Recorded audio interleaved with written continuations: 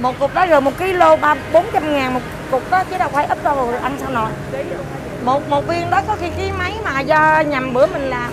Một viên đó có khi tụi chị bán tới mười mấy, hai mươi tô mà. Nói chung là cái gánh này là cũng do chị đặt. Tại ngày xưa đó là chị bán gánh chạy mấy chục năm rồi. Khi mà chị vô quán á, chị bán á, thì chị cũng phải lấy cái thương hiệu của gánh. Cũng như gánh là do, cũng là cái ý nghĩ của chị, Việt kiều, rồi nghệ sĩ cái người à, nước ngoài đồ về ăn bình thường Singapore Thái Lan đồ ăn bình thường. Campuchia người ta ăn ngon người ta cứ giơ ngón tay về mình cũng biết sao. Hồi nhỏ cực khổ lắm. Thành ra phải gán mà tìm kiếm để bán được cái món gì để mà cho sinh sống trong gia đình đó. ăn ở đây đâu ạ? Quan lần thứ hai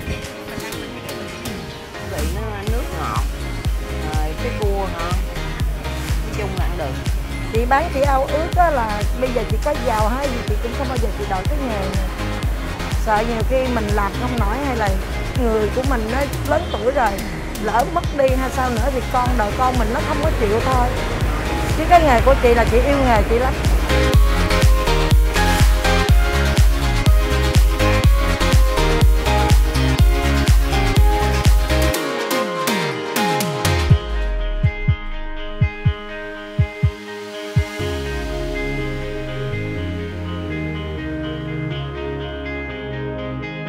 Thường gọi là chị Thanh. Dạ mình bao nhiêu tuổi chị năm nay 51 tuổi. Chị chỉ bán bún riêu thôi. Có một món bún riêu. À, mọi lần chị bán ở số 4 Phan Bội Châu phường Bến Thành quận 1 hôm nay chị giờ qua đây được uh, 5 tháng rồi là 163 Lê Thánh Tôn phường Bến Thành quận 1 dạ mình bán từ mấy giờ mấy giờ? Chị bán từ 7 giờ sáng đến uh, khoảng 6 giờ mấy chiều hết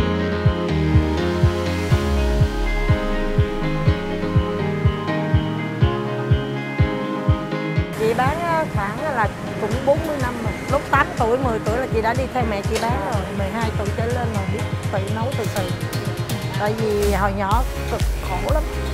Thành ra phải gán mà tìm kiếm để bán được cái món gì để mà cho sinh sống trong gia đình đó. Là cũng như tuổi rất mẹ. Đúng rồi. Có mẹ có chị nữa. Ở nhà chị có sáu chị em. Đó chị em bán chung vậy đó. Chị em cứ ờ, chị làm em bán. Em chị em không hết trong nhà hết chị bán lâu gì đó chị vui. Vui chứ. Trời ơi cái này là chén cơm cùng gia đình chị mà trong anh em. Chị mong muốn cứ bán càng ngày một lên mà chứ đâu có ờ, gì mà phải buồn phiền. Cái này là giống như cái nồi cơm trong gia đình chị mà.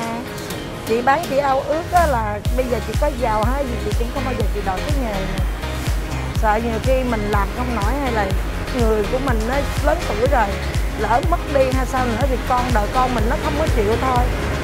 Chứ cái nghề của chị là chị yêu nghề chị lắm. Chị yêu cái nghề buôn bán này lắm. Cuộc sống này á hả là chị yêu lắm, nhưng mà chị không, mình không có biết được cái chuyện gì nó xảy ra thôi. Chứ cứ bán được là cứ bán, làm được là cứ làm. Không bao giờ chị phụ cái nghề của chị đâu.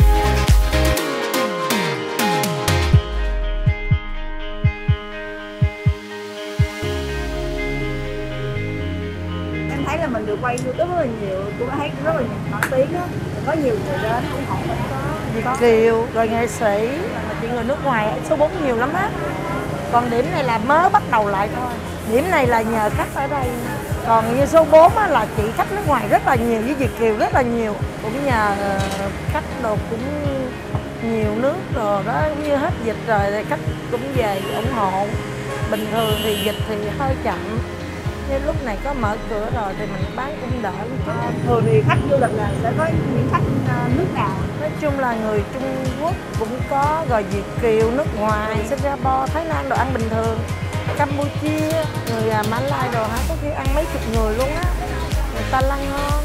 Người ta cứ giơ ngón tay về mình cũng biết sao. Cũng hạnh phúc lắm đó. Cũng hạnh diện lắm. Mình cũng mừng lắm chứ. Nhưng mà phải cố làm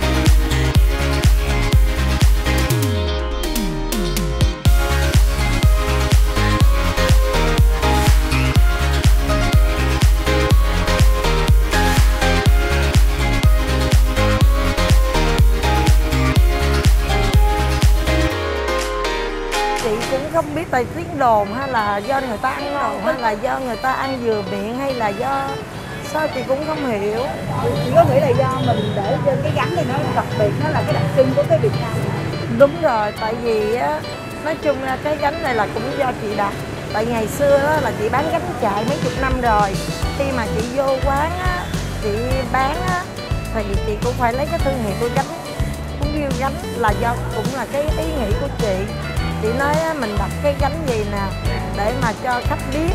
Rồi từ từ chị mới chuyển qua từ cái gánh chị chuyển qua cái bếp ga. Giờ chị làm cái bếp điện là cũng do chồng chị sáng kiến ra làm đó thì chị cũng gắng nấu làm sao mà cho nó phải ngon rồi phải sạch sẽ nữa để cho có khách càng ngày càng đông. Thì chứ là mình bán gắn ở chợ. Đúng rồi bán gánh chạy ngoài đường mà bán mấy chục năm ngoài đường mà chị mới vô đây chừng qua đây khoảng bảy tám năm nay thôi là vô nhà thôi. Trời ơi rất là khó khăn dầm mưa dậy nắng em ơi. Trời mưa hả là chị phải che cái dù mấy chị em che mặc áo mưa. Trời nắng là bình thường chị mặc áo khoác rồi đợi nắng lá nữa, chứ đâu có. Đúng rồi, cực lắm. Rồi sau này giống như, trời, buổi khó khăn đuổi nhiều quá mà mình bán đắt. Rồi thành ra là thôi hả, phải thuê vô nhà.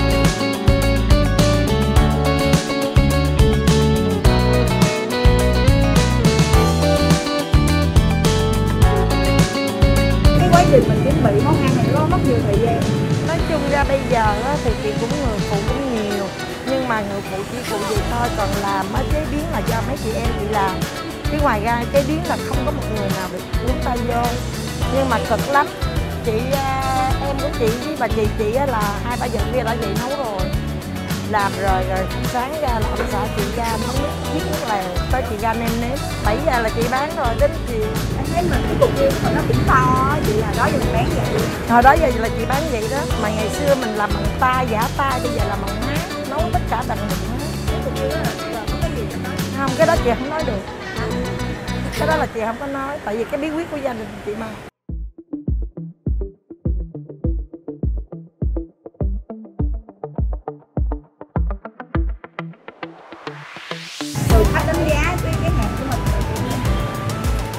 cũng không biết. Bây giờ thí dụ chị nói tốt về nhiều người nói rồi thấy ghê sao? Cái đó là để cho ở ngoài người ta đánh giá thôi giờ chị đâu nói được. Khách nào mà ăn ủng hộ mình mà lâu như chị nói chung ra chị có khách á, là có khi mà lúc mà lúc nhỏ cha mẹ dắt đi học ăn tới bây giờ có chồng có vợ nên đi có chồng có vợ luôn rồi có đi làm việc luôn. Rồi sinh viên rồi có gia đình rồi cũng lớn luôn tại vì là bao nhiêu năm rồi? Hỏi đâu? Cục riêu đó bao nhiêu gram chị một cục đó rồi một kg ba bốn trăm ngàn một cục đó chứ đâu phải ít đâu rồi ăn sao nổi. Một một viên đó có khi ký mấy mà do nhầm bữa mình làm. Một viên đó có khi tụi chị bán tới mười mấy hai mươi tô mà. Khách nào đánh giá cục riêu của mình? Chị cũng không biết nữa đâu có ai nói ừ, ngon hay sao thì thấy người ta có khi người ta ăn thêm là bắt biết có khi cũng ngon. Rồi có khi người ta cũng không có thích ăn cái cục riêu vậy đó nhầm người. Chị bán là 55 ngàn có chả là 65 ngàn chả cây là 10 ngàn một tô là 55 ngàn. Mà giống như chị bán mấy năm nay là vẫn làm chỉ 55 ngàn. Bản chất của chị bán là không có thích mà ở cứ tết là lên giá hay là cứ dịch là lên giá. Cũng như mình bán cũng làm sao mình phải giữ khách cái nhớ mình hoài. Ví dụ như mình lên một lần nhưng mà năm, ba năm, hai, ba năm mình phải lên. Chứ những cái lúc dịch đồ đồ cũng căng lắm đó, nhưng mà cũng phải gồng gánh. Những cái lúc đó như bao bì hộp đồ chị đâu có tính tiền. Có kỷ niệm nào đáng nhớ với khách không chị cũng có chứ nhiều khi trời ơi ngồi có khi cũng ôm nhiều chuyện lắm. Ôm lại những cái lúc mà khổ rồi những cái lúc mà khách ăn sao sao mình nhớ hết